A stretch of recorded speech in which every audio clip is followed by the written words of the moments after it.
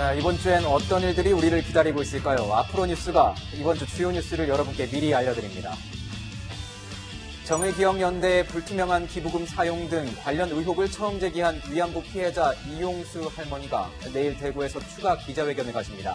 새로운 폭로 내용과 함께 당사자인 윤미향 전 이사장도 참석할지 관심이 쏠립니다.